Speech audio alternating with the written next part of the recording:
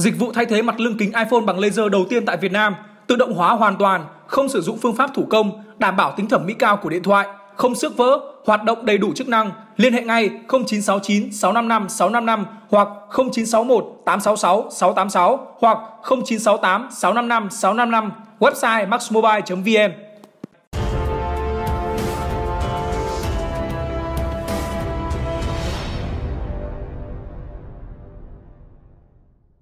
Hello, xin chào anh em đã quay trở lại với X Studio. Và như thường lệ thì ngày hôm nay X Studio sẽ tiếp tục gửi đến anh em những tin tức công nghệ đáng chú ý ngay sau đây. Thông tin đầu tiên của ngày hôm nay Xiaomi và Apple có thể lôi nhau ra tòa vì Mi Mix Alpha.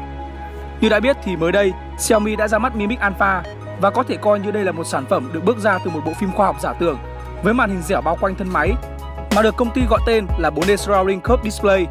Với thiết kế này, tỷ lệ màn hình với thân máy lên đến là 180,6%, và hoàn toàn không có các đường viền cạnh máy. Tuy đây là chiếc điện thoại đầu tiên trên thế giới có được thiết kế như vậy, nhưng dường như Xiaomi không phải là công ty đầu tiên nghĩ ra kiểu thiết kế này, mà thay vào đó là Apple. Được biết, Táo Khuyết đã đệ trình bằng sáng chế điện thoại có kiểu dáng rất tương đồng với Mi Mix Alpha từ năm 2015. Cụ thể, bằng sáng chế của Apple cũng bao gồm một màn hình bao quanh thân máy, cùng các nút ảo như tăng giảm âm lượng, cũng được đặt ở cạnh máy. Cùng với đó là hệ thống thông báo cũng không còn được điều khiển theo kiểu trượt màn hình từ trên xuống mà bây giờ sẽ nằm hoàn toàn ở cạnh máy. Một điều đáng chú ý nữa là Apple không chỉ nộp một mà là tới hai bằng sáng chế cho kiểu thiết kế trên. Với bằng sáng chế mới nhất được phê duyệt vào năm 2018, với mô tả về một thiết bị điện tử với bộ khung bao quanh, tức một màn hình cảm ứng bao quanh thiết bị điện tử. Thật ngạc nhiên khi tất cả những yếu tố này đều đã được đưa hết vào Mi Mix Alpha, từ cả thiết kế bên ngoài lẫn các yếu tố phần mềm bên trong. Do đó, rất có thể trong tương lai nếu Apple ra một chiếc iPhone như vậy thì họ hoàn toàn có lý do để kiện Xiaomi hoặc ngược lại. Xiaomi cũng có thể kiện Apple với cáo buộc chung của cả hai công ty đưa ra là sao chép thiết kế của nhau. Một bên là được bảo hộ ý tưởng sớm hơn và bên còn lại là trình làng sản phẩm thực tế sớm hơn. Nhưng có lẽ với phong cách thực dụng của Apple thì phải còn rất lâu nữa chúng ta mới thấy một chiếc iPhone như vậy xuất hiện. Chuyển sang thông tin thứ hai của ngày hôm nay, Mỹ chi 1 tỷ đô la để loại bỏ hoàn toàn Huawei. Tờ Reuters vừa đưa tin trong tuần này, một hội đồng hạ viện Mỹ ban hành dự luật nhằm cấp ngân sách 1 tỷ đô la cho các nhà mạng không dây nhỏ và hoạt động tại vùng nông thôn, để thay thế thiết bị mạng của các công ty như là Huawei Technologies và ZTE bằng các nhà cung cấp khác. Các nhà lập pháp Mỹ cho rằng thiết bị của những công ty này gây ra mối đe dọa về an ninh quốc gia. Dự luật này tương tự một đạo luật được Ủy ban Thương mại Thượng viện Mỹ thông qua trong tháng 7 để dành 700 triệu đô la tiền ngân sách, nhằm trợ cấp cho việc loại bỏ thiết bị của Huawei, nhằm tăng cường bảo mật cho chuỗi cung cấp trong mạng lưới viễn thông Mỹ các nghị sĩ hàng đầu của cả hai đảng Dân Chủ và Cộng Hòa tại Ủy ban Thương mại và Năng lượng của Hạ viện cho biết trong tuyên bố chung rằng dự luật này sẽ bảo vệ mạng lưới liên lạc của quốc gia khỏi kẻ thù nước ngoài bằng cách giúp đỡ các nhà mạng không dây nhỏ và ở vùng nông thôn thoát khỏi các thiết bị mạng lưới đáng nghi ngờ và thay thế chúng bằng những thiết bị bảo mật hơn. Được biết, đây là động thái tiếp theo của việc Mỹ thúc tiến các nhà mạng sớm từ bỏ Huawei.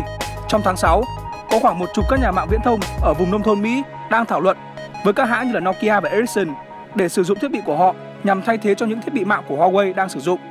Trong khi các nhà mạng lớn của Mỹ đều đã cắt đứt quan hệ đối với Huawei, một số nhà mạng nhỏ ở vùng nông thôn vẫn đang phải phụ thuộc vào các thiết bị và switch mạng giá rẻ của Huawei và ZTE để hoạt động.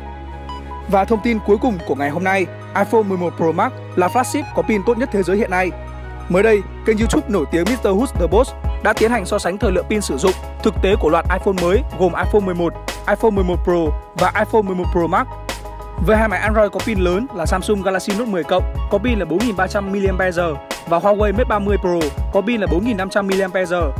Các máy sẽ cùng lúc chạy một số ứng dụng như là Instagram, YouTube, Antutu Benchmark, camera và một số tựa game cho đến khi hết pin. Kết quả khiến cho nhiều người bất ngờ. Chiếc máy cho thời lượng pin tốt nhất trong thử nghiệm của Mr. Who's the Boss là iPhone 11 Pro Max khi trụ được 8 giờ 32 phút sử dụng liên tục. Xếp thứ hai là Huawei Mate 30 Pro với thời gian là 8 giờ 13 phút Vị trí thứ ba thuộc về iPhone 11 Pro 5,8 inch với 6 giờ 42 phút. Galaxy Note 10 cộng nắm giữ vị trí thứ tư với 6 giờ 31 phút. Và cuối cùng, iPhone 11 bị bỏ xa khi chỉ đạt 5 giờ 2 phút. Được biết, iPhone 11 Pro Max là mẫu iPhone có pin lớn nhất hiện nay với dung lượng là 3969 mAh, lớn hơn đáng kể so với con số là 3174 mAh của iPhone XS Max tiền nhiệm. Tuy nhiên, có thể thấy chiến thắng của iPhone 11 Pro Max không chỉ đến từ phần cứng mà còn đến từ một phần không nhỏ đó là phần mềm. Từ lâu, iOS vẫn được đánh giá là hệ điều hành với khả năng tối ưu hóa tốt hơn và sử dụng pin hiệu quả hơn. Việc iPhone 11 Pro Max có dung lượng pin thấp hơn so với hai đối thủ Android nhưng vẫn cho thời gian sử dụng lâu hơn là minh chứng rõ ràng nhất cho điều này. Vừa rồi cũng là tất cả những thông tin mà X Studio muốn gửi đến cho anh em trong ngày hôm nay. Đừng quên bấm like và subscribe để luôn đồng hành cùng X Studio. Còn bây giờ thì xin chào và hẹn gặp lại anh em trong các video tiếp theo.